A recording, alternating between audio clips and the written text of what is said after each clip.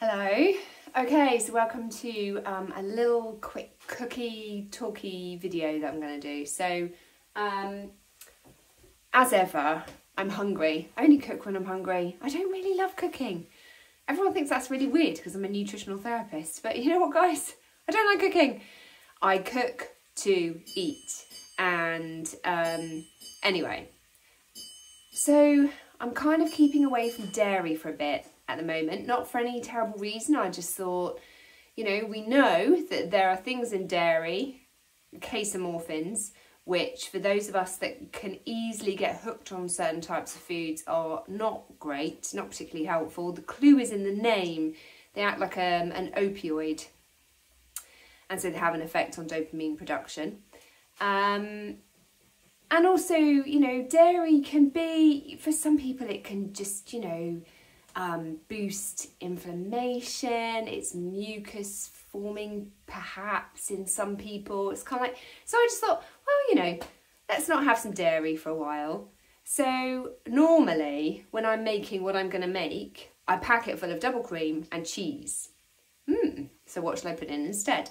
And just to not keep you in suspense anymore, I'm making what I've decided to call a fromelette. It's kind of halfway between a frittata and an omelette.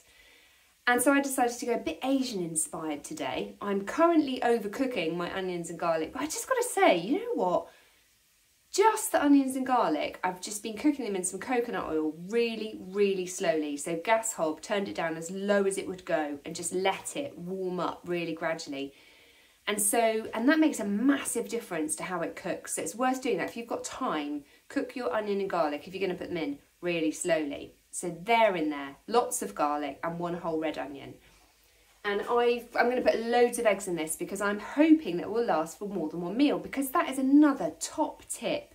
Cook more than you need so that next time you have a hungry attack and you're too busy or just can't be bothered to make anything, it's there already in your fridge. And then that helps you setting up your life, setting up your fridge and you know doing your shopping in a way that means there's stuff on hand for when you are hungry does you a massive favour. So next thing, I'm going to put lots of chilians. This is four chilies that I've chopped up. Okay, um, I haven't taken the middles out. I'm not fanny arsing around with any of that stuff. They're not chopped particularly finely. I am not a chef. And so this is now going in my onion and garlic, which is cooking on my hob over there.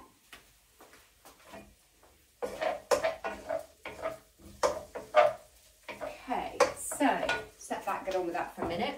Next thing I'm going to do is I'm going to put a whole courgette in there. I love courgette. So I'm just going to slice that up. I've given it a quick wash, topped and tailed it. I'm just going to cut it into four, like that.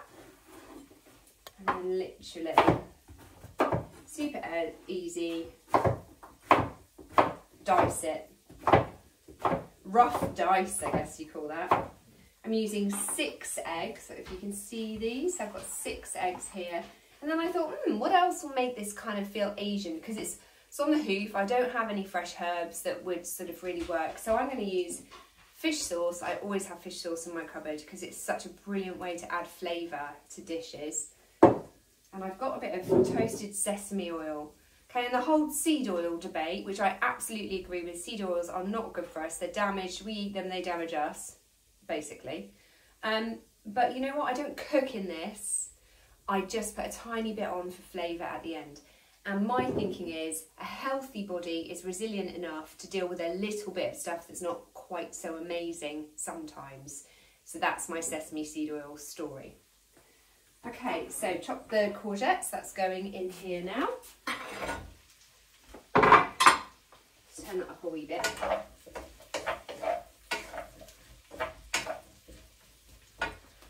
Okay, and I'm going to put prawns in here. So I've literally always have frozen prawn, prawns in the freezer.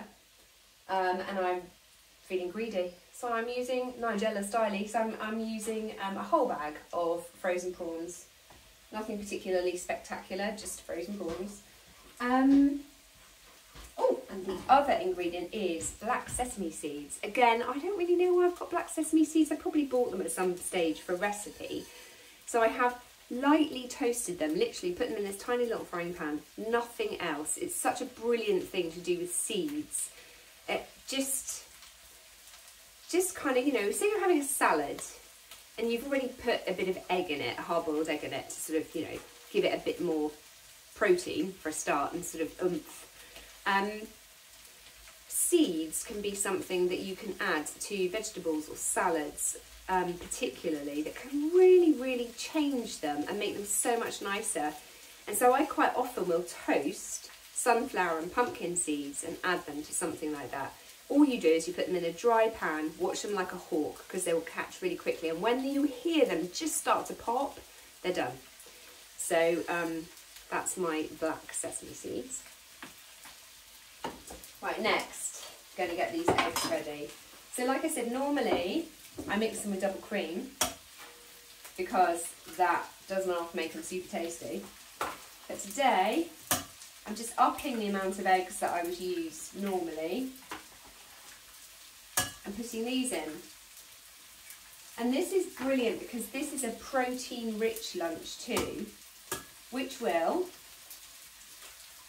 apart from all the amazing jobs protein does in your body, will keep me feeling satisfied and not hungry and the two things are different things for way longer than if I was going to eat a, a quick releasing carbohydrate lunch like so many people do every day. So something with bread as um, as an ingredient for example bread folks is a refined quick releasing carbohydrate and that means that it turns to sugar after you have eaten it, glucose, super fast.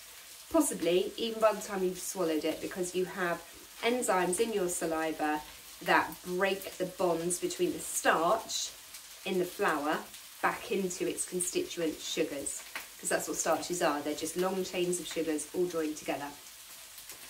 Okay, so let's look how this is going.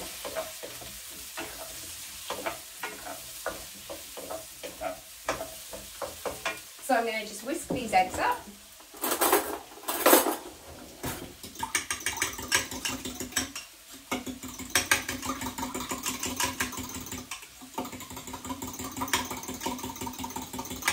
And I'm going to, at this stage, add a bit of fish sauce. Before I forget, famous for doing that. Add a bit of fish sauce to my mixture of courgettes, onions and garlic and chilli that's all been cooking in coconut oil.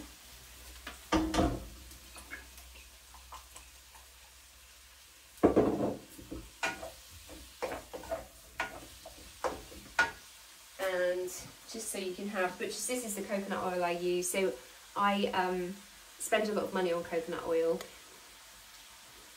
I think coconut oil is one of the things that it is worth making sure you get a really, really good one with because again, as with all oils, you want to make sure that it hasn't been damaged because once they've been damaged in the processing, then um, before they get to you, for you to use it, that then causes damage inside your body once you eat it. That's the simplest way to put it.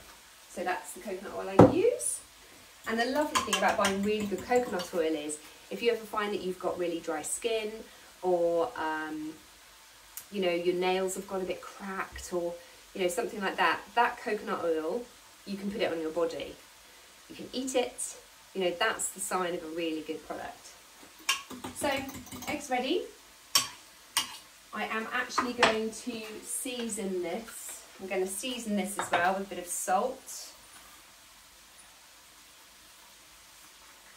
Although not too much because there is plenty of salt in that fish um, fish sauce. I think it's a shame these are not smelly videos because it smells lush in here right now. Okay, so this is going in here.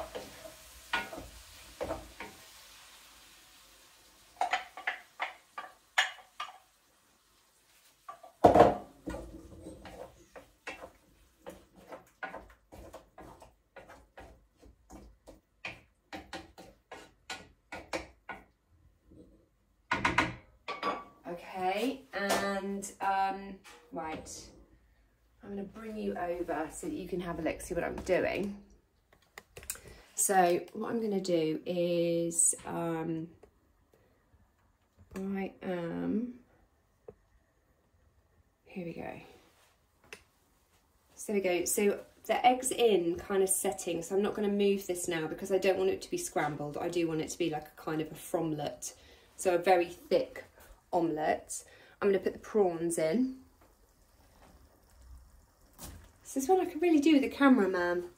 Anyone want to come be my cameraman? Okay, um, give that a shake. And poke around.